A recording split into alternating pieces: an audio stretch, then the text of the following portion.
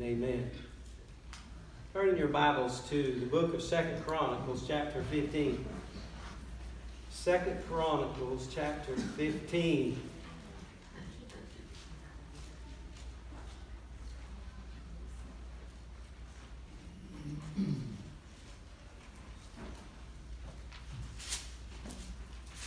If you don't have a Bible, there's a Bible in the back around the corner under the table. Second Chronicles chapter 15. This is the story about King Asa, his response to the Lord, what the Lord did for the nation of Judah and Benjamin and a few other nations who tagged along. And the title is a play on words this morning. The Lord uh, gave me a question that He asked me on Tuesday of this week Is this not that? Is this that we are experiencing during these days? All the stuff that we see happening in our country, all the negativity, all the rioting, all the looting, all the upset, and all the stuff that is going on, is this that we see, not that that we see right in the Word. Okay? So is this not that?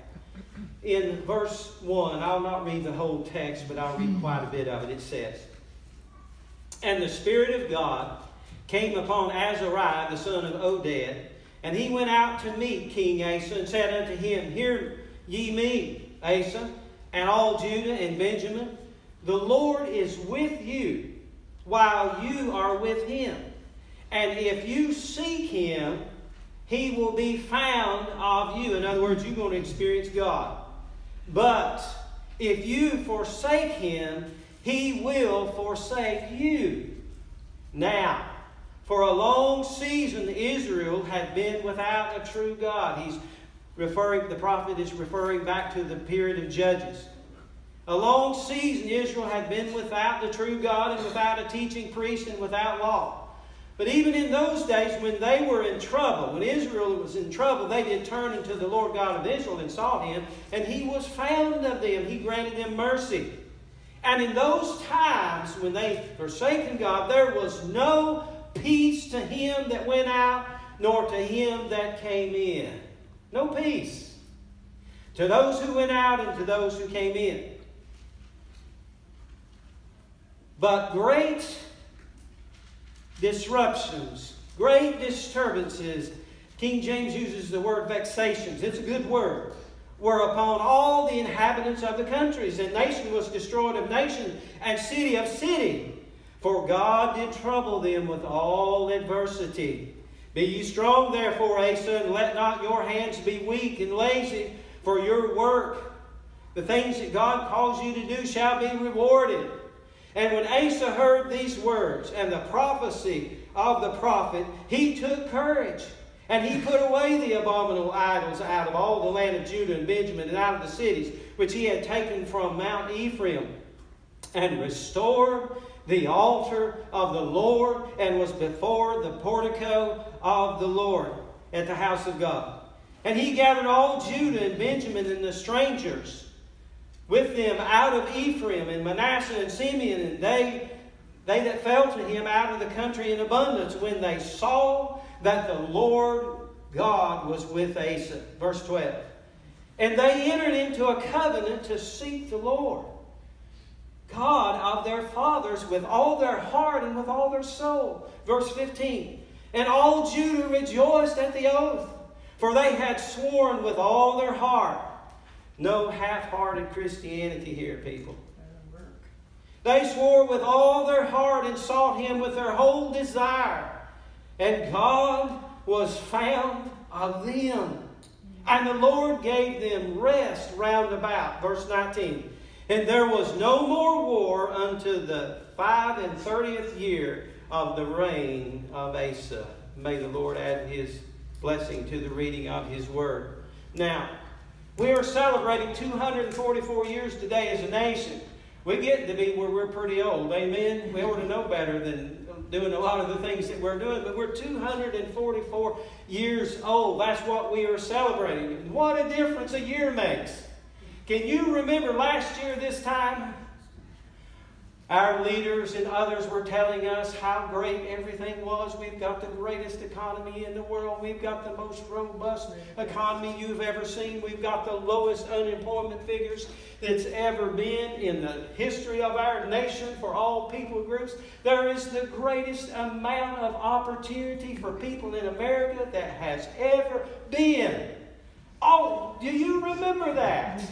All of these wonderful things that were happening in, in America, and all, you know, how good everything was. And along with our leaders and others telling us how great it was, they were giving God the credit for it, wasn't they?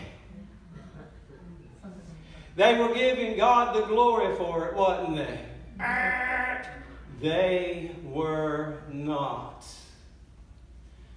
Brothers and sisters, the Lord has warned us he has warned us over and over and over in His Word. If you build your house, if you build your fortunes on the shifting sands of human ingenuity and human accomplishments, oh, listen. The floods of pandemic, the floods, floods of social uh, issues and evils and the like can come and almost overnight wash everything away, and great will be the fall of it. So says Jesus at the end of the Sermon on the Mount. It's gone. Just like that, it's gone. I want to ask you a question. What do the people of God do when we have such reversal of fortunes? What do we do when all of these blessings seems to just dry up and pass away almost overnight? Is there any word from the Lord about this? Is there any word from the Lord God, from the scriptures, about what's going on in our society and in our land? Huh? Any word? Has God got anything to say about this? Mm-hmm. As a matter of fact, He does. I read over this text about three or four weeks ago in my regular reading, and the Lord said these words are going to have an out very soon. And this morning is the time for them to have their out. Okay? And as I read over this on Tuesday, the Lord asked me this question Is this not that? Is what we are seeing in our country right now all of these problems, all of these issues, all of this trouble, all of this adversity is this that's going on in our country, not that that we see in the scripture, especially verses 3 through 6. You say, I don't know, Pastor. Well, let's take a look and see, okay? Let's just move right through this text and see what the Lord has to say to his people this morning. First, I want you to see what I'm going to call the word of the prophets. In verse 1, he said, And the Spirit of God came upon Azariah, the son of Oded, and he went out to meet Asa, and he said unto him, Hear me, Asa, and all Judah and Benjamin, the Lord is with you, while you be with him. And if you seek him, he will be found of you, but if you forsake him, he will forsake you. Verse 7 be ye strong, therefore. Don't be lazy. Don't let your hands be weak. For the work, for your work that the Lord gives you to do shall be rewarded. Now, the context is one in which Asa was a good king. He was a spiritual man. He was a man of prayer. And he had had and brought about many spiritual reforms in chapter 14. He had brought some good things to, to the uh, people of Judah. And many of the people in the northern kingdom, when they saw how that God was blessing him, they came and joined him in the southern kingdom. Everybody wants to go to Florida. Amen. That's it. They want to go to Florida.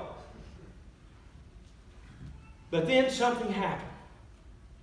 A massive army from the south of Judah came against Judah and King Asa. They were so outmatched, it's not even funny. On paper, there's no use to even fire a rocket or sling a rock or throw a sword or spear or anything. They might as well have given up. But Asa, being the man of God that he was, did not give up or give in. He did not cower down. But it says that Asa went to the Lord in prayer And he cried out to the Lord and he says, Lord, we're going to trust you on this. Here's a man who's getting ready to go to war. And you know what he says? He says, We're going to rest in you. Rest and war don't go together. that lets you understand what kind of man of faith he was. He believed God would deliver them. He was trusting in God. He said, We're going to rest in you and we're going to trust in your great and mighty name, O God. And in verse 12 it says, So the Lord smote the Ethiopians before Asa. Verse 13, and the Ethiopians were overthrown, and they could not recover themselves, for they were destroyed before the Lord and before the Lord's host. Hallelujah. God delivered them from this massive, massive army from the south, 25 miles southwest of Jerusalem. And it was on the heels of that great victory in Asa and Judah's life that God raised up this prophet to go see Asa after he had this great victory to tell him, now, honey, you don't need to get too cocky. You don't need to put your big britches on and think you did all this yourself. That's right. And this is what he said to him. The prophet reminded Asa that this victory and this blessing was God's doing, not yours. You didn't bring this about. And then he said this to him. The prophet reminded Asa that the Lord was with him. It was the Lord who brought about this victory. It was the Lord who gave Judah the victory over this massive army. And he reminded him that the Lord was with him as long as Asa in Judah was with the Lord. And if you seek the Lord, you will be found by him. In other words, God will come into your camp, into your midst, and you will experience the blessing and the victory of God. It was God who did this, Asa. It's not your doing. The battle's not mine, it's the Lord's. It was God who did this in your life because you were abiding, yielding, and obeying Him. Because you were walking in righteousness. You were walking in truth. And you called upon God and God delivered you. Now let's not get cocky. Let's not get, become proud and think you did this. It was God who did this in your life. And then He gives this warning. If you forsake God, God will forsake you. Oh my goodness. When he was on top of the mountain, when he was enjoying a great victory, this is what the Lord said to him. Have you heard this message lately? Is this not the same thing that the Lord has been saying to us lately about abiding, yielding, and obeying? The Lord is with us if we are with Him. We can pursue the Lord and seek Him, and we will be found by Him if we are abiding, yielding, and obeying Him. This is John 15 5 in the Old Testament. Jesus said, I am the vine, you are the branches. He that abides in me, and I in him, the same bringeth forth much fruit. Look at the much fruit in Asa's life and the nation's life when they walked with the Lord in righteousness. God bless them. They were outnumbered. It's pitiful. And yet they walked away with a victory. Why? Because God brought about the victory. Since we're on a national stage, I think that we need to ask ourselves this question Is America forsaking God? Have we turned our back on the Lord as a nation? not talking about maybe just you, but look at us as a nation. What does it mean when we remove the Ten Commandments in prayer from public school. That's that little sign that Bill Green gave me about the Ten Commandments there. I don't know if you can see it or not. It's hanging on a fence post in Tennessee. As people drive up and down the road, they can see it.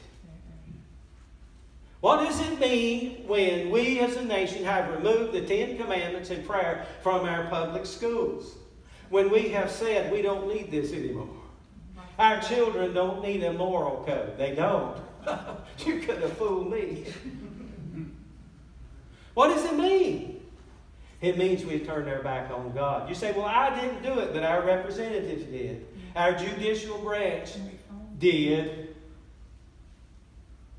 Our Supreme Court justices did, and they speak for the nation. They're the highest court in the land. Not all of them voted for it, but enough of them voted for it to turn the Word of God, the Ten Commandments, off the walls of our schools and said, we don't need to be praying anymore before we start our day publicly. What does it mean when we make it legal to kill a baby in a mother's womb? When God's Word protects the innocent child in the mother's womb. When God says in His Word that He knows us in the womb. What does it mean? It means that we've turned our back on God. That's what it means. And again, the same Supreme Court did the same thing again, a majority of. What does it mean when we redefine God's design for marriage? The Bible says Adam and Eve. But the Supreme Court says it can be Adam and Steve.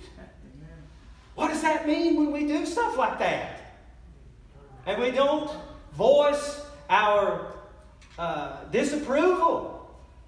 It means then we've turned our back on God. That's what it means. That means that we have rejected what the Lord says about these very important issues in our life. Think about that. This is serious business now. Very serious. Not trying to give you a bummer or a downer. We need to understand where we're at and where we're not. the word of the prophets if you forsake God, God will forsake you. Now, what does that look like when we forsake God? Let's look at the turmoil of the land in verses 3 through 6. Now, for a long season, Israel had been without the true God. Oh my goodness. And without a teaching priest and without the law. But when they were in trouble and they did turn to the Lord God of Israel and sought him, he was found of them. Mercy in the Old Testament, people, over and over and over in the book of Judges. And in those times there was no peace to them that went out, nor to them that came in, but great vexations were upon the inhabitants of the countries, and nation was destroyed of nation and city of city, for God did trouble them with all adversity. The prophet is going back into Israel's history and playing a movie that he wanted Asa and Judah to see, to be reminded of. And what did he want to remind them of? He wanted to remind them this is what happens when you forsake God. Now they're on the mountaintop right now. Everything's going great. But he wanted to remind them this is what happens when you forsake God. And what did happen in the days of the judges? In the first two chapters of the Judges, it tells us there was a generation who grew up that knew not God nor the things that God did. And then they went a whoring after other gods. And then every man did what was right in his own eyes. Oh, listen, saints of God. Are you doing what's right in your own eyes? Are you living your life according to God's word and the standard of His word? Are you abiding, yielding, and obeying, or you come up with your own standard? Doing what's right in our own eyes. Listen, this is what happens when we forsake God. It says, no peace to them who went out and them who came in. No health, no security, no tranquility, no blessed welfare. You don't have the favor of God on your life. So that's terrible. yes, it is. Great vexations. Your translation may say disturbances. It's defined as confusion, disturbance, destruction, trouble, tumult. The picture is one of severe turmoil. Honey, there's a big difference between a car that's loud and a car that runs over you. This was no small disturbance. The whole country was in an uproar. City against city, country against country, people against people, confusion, severe turmoil. Vexed or troubled with all adversity, adversary. Honey, we have a invisible adversary right now that's slaying affliction, anguish, distress, tribulation. All of these stuff, all of these things were happening to the nation of Israel. Why? Because they turned their back on God. No favor, no blessing, no protection. God's just going to let you on your own. Question, Americans, does this look and sound like America? Is this that we are experiencing? Is there not some similarity? Is there not some parallel? Is this stuff that we're going through not that that you are reading right from God's Word, written over that several thousand years ago? Huh? Is this not that? Are we not experiencing the consequences of turning our back upon God? The old timers used to say, Buddy, you better straighten up because before long your chickens are going to come home to roost. You ever heard that saying? What in the world does that mean? That means that you're going to pay for your poor choices. That means that when you turn your back on God and you rebel against His authority in your life, there may be pleasure in sin for a season, but the payday is coming. You're going to reap what you sow. You're going to reap more than you sow, and you're going to reap later than you sow. And you can deny it, you can pretend that it's not going to happen. But if there is a God in heaven, it's going to happen because it's the law of the harvest. And we in this country have been putting that off, thinking we can change the law of the harvest and it's going to be okay. And it, no, it's not. It's not. God says it's not.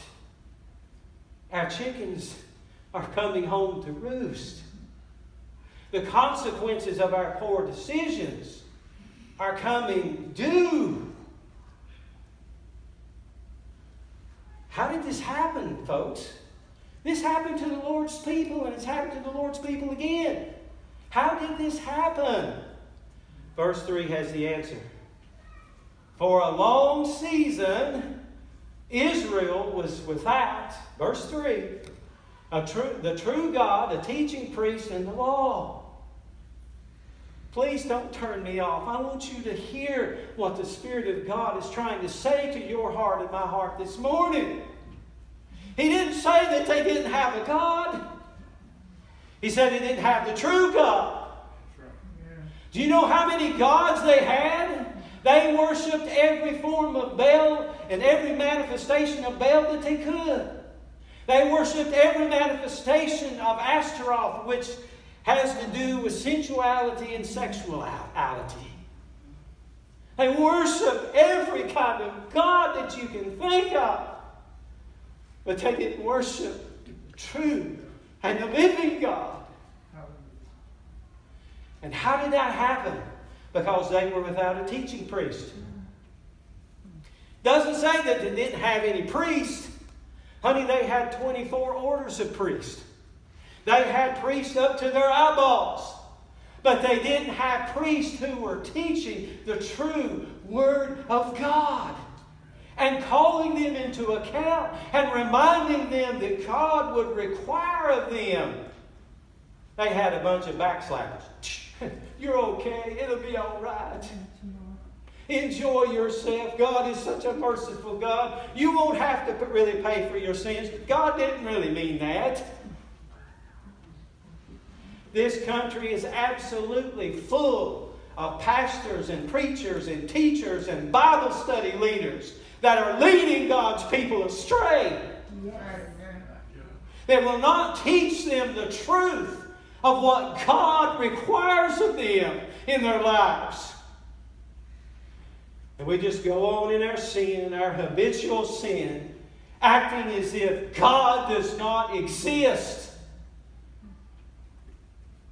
and our chickens are coming home to roost. They were not teaching the law, the Torah, which gave them instruction, that gave them direction, that gave them purpose, spiritual purpose in their lives, that put them in a position where God could bless and minister to them and protect them and take care of them.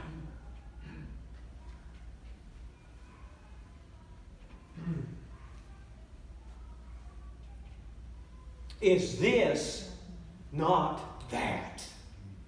Hmm? Is this that you see that we are witnessing? Are there not some similarities? Is there not a spiritual parallel? Is God not saying to us, listen, you cannot continue to turn your back on me and expect everything to go just wonderful. You say, Pastor, this is so hard, this is so dark, this is so heavy. Yes, that's what sin does in our lives. That's what happens when we rebel against a loving God. You say, Is there any hope? Yes, praise God, there's good news.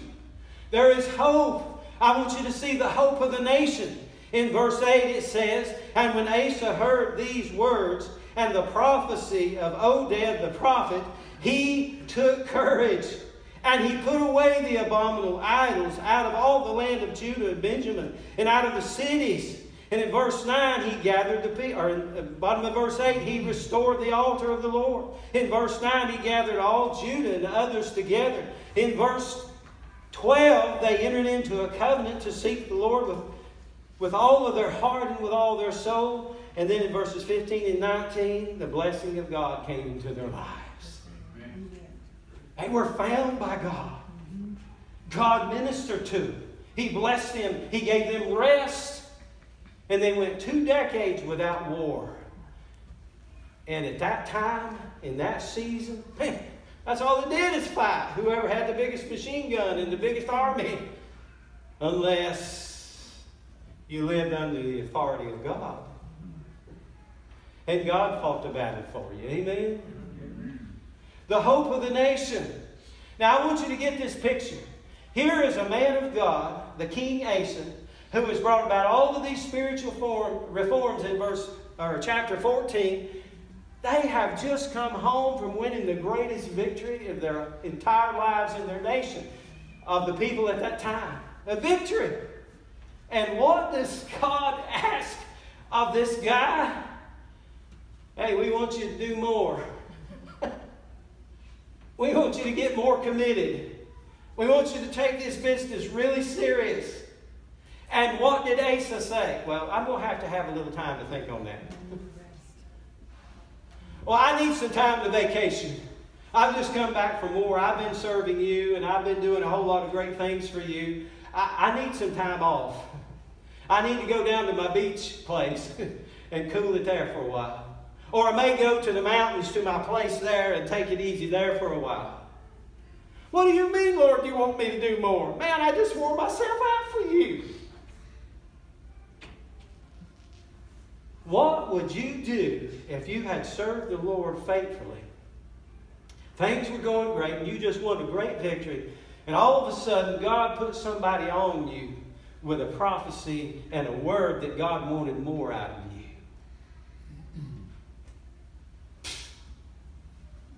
I know what most of us would do. Are you kidding me? But that was not Asa's response, was it? Let me tell you what Asa, how he responded. He received that word as it truly was. It was the word of the Lord. Somehow he knew it. He knew that God was requiring more of him. He knew that he needed to strengthen himself spiritually. He knew that he had to go on with the Lord. And so he received that word, and it says he took courage. He didn't become sarcastic. He didn't say, Let me take some time to think about it, Lord. Man, I've got to have some time off here. I got to, you know, rest up. This is what he said in verse 8. He took courage. That word is very interesting in the Hebrew. It means to be bound fast. It means to be attached, to make firm. In other words, he's going to be bound more so to the Lord than he was. It means that he's going to be attached more to the Lord than he was. It means that he's making his commitment to the Lord even further, to strengthen, to support, to persevere, to be valiant, to conquer. Yes! Lord said, We ain't done, we're just getting started. And this man said, Yes. After all, what did he just see God do? he just saw God dismantle this massive army that had come against him and his people with 300 chariots to ride him down. And God broke them and destroyed them and defeated them right before his eyes. And this man of God said, Yes, no place to get off here. We might as well just do it for the glory of God. And he received that word. Woo! He understood that God was asking him to go deeper and to do more or give more. That's what he understood. To go deeper with God. You hear that in your spirits? To go deeper. To go deeper. Now, I want you to see what happens when this man committed himself to go deeper with God. This is what kind of hope is out there for us. Listen to this. He removed the idols in verse 8, the abominable idols. Mm-hmm. he removed them. Went throughout the land and he removed them. Said, What is an idol? Anything that gets between you and serving God and worshiping God is an idol. You know how many idols we got? oh my goodness. I removed them. He restored the altar, of the place of sacrifice, so that people could stay right and in proper fellowship with God. He regathered the people. Verse 9, how? Because they saw that God was with him. In verse 12, they renewed the covenant with God. They took an oath and said, We're going to pursue God. We're going to give our heart to it. We're going to go after Him. We'll give my whole heart, my whole soul to the Lord. And then what is the result of all of this stuff? Verse 15 they rejoiced in the oath that they took. They said, This is a good thing. And they went after God with their whole hearts, and the next thing they knew, God is on them. They're experiencing God in their lives. And what is the last phrase in verse 15? And peace was all about them. Honey, if you lived during that time, that's what you wanted is peace all about you. Because there were evil enemies everywhere. They were peace all around them. And then in verse 19, it says that God gave them peace in their land to the 35th year of Asa. That's a marker, by the way. And in verse 10, it said that this started in the 15th year. So how many years is that? Two decades of favor and blessing of God upon their land, living at peace with God and being under His authority and under His blessing. Hallelujah. Does that sound good or what? Woo. Peace. And there was somebody in his family that thought that they had tested his resolve. Mother dearest. She put up one of them nasty, vulgar Ashtoreth poles what would her son do? Would he cower before his mother? No, he would not. He was a man of God after God's own heart. He wasn't under his mama's apron springs, or strings. He wasn't no hen pecked husband or son. He disposed his mother, just removed her from being queen he cut down that thing she put up, ground it up, and burned it. Said, Mama, we're going to serve God. Woo! How many people let mama or daddy keep them from serving God today? It's absolutely sad. Yes, we're to respect our parents. Yes, we are to honor them. But not if they lead us away from serving God. Amen. Hope in America? Yes. Hope in your life, in my life? Yes. But, honey, I want to tell you the truth. Please don't get mad at me. Casual Christianity ain't going to get it done. Christianity of convenience ain't going to get it done. What is this weekend all about? It's about people like that right there who came to Plymouth Rock years and years and years ago. What did they understand that we don't seem to understand today? that God is calling us to go deeper.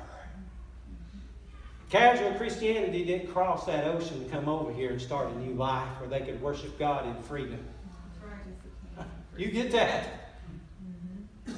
They understood that God was calling them to go deeper. And William Bradford and a hundred other people who were on the Mayflower landed right there in Plymouth Rock. They thought it the wrong place, but it was the right place because God led them there. Yeah. And you know what they did when they got on that beach? They got on their knees and they thanked the God of heaven and earth for bringing them safely to this country because they were on a mission for God. That's right. They wanted a place where they could raise their families and their children and have a government under the authority of God. Where God was the judge, God was the lawgiver, and God was the king through the people that they elected under the lordship of Christ. They understood. They understood that God was asking them to go deeper. He was requiring more of them. In 1776, 56 people signed the Declaration of Independence over, a little over 150 years later. You know, those individuals who signed that, they knew that they were signing their death warrant. And most of them died because they did. But they understood that God was calling them to go deeper. During World War II, we faced the greatest enemy this world has ever seen in Nazi Germany. But the good Christian, godly men and women of this country understood that God was calling us to go deeper. And they were willing to give their lives under the authority of God to stop him. And they did. Now, brothers and sisters, listen to me. Do you think that casual Christianity and convenient Christianity is going to change this? that we're dealing with? Do you think that casual Christianity and casual faith is going to possess what God has promised us at 401 East Moody Boulevard? Do you think that you're going to be able to save your marriage? Do you think you're going to be able to save your children from the evils of this world with casual Christianity? No! It's going to take more. God is asking us to go deeper, get ourselves committed to Him so that He can bless, so that He can protect, so that He can lead us by His grace and by His Spirit. Amen? Amen. Listen, we have sold the Lord out for years. This is the message of the gospel of Jesus Christ. If any man will come after me, let him deny himself. You got to go deeper. If any man will come after me, let him deny himself, take up his cross daily and go deeper, and follow me and go deeper. That's right. If we're going to save ourselves, we're going to have to go deeper. Amen. We got to get out of the Lord's way so that He can bring about the victory that we need in our lives. You got to go deeper if you're going to get over your addictions. You're going to have to go deeper if you're going to get over being selfish and self centered where everything is about you. You got to give your life to Christ and go deeper.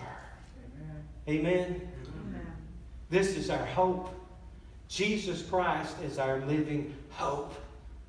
And I understand what God's calling from me. Even at my age, I've got to go deeper. That's just the way it is. Less of me and more of Him till we reach the place where it's all of Him and none of me. Amen. Amen. John the Baptist said these words He, Jesus Christ, must increase, and I must decrease. Mm-hmm. That's the order.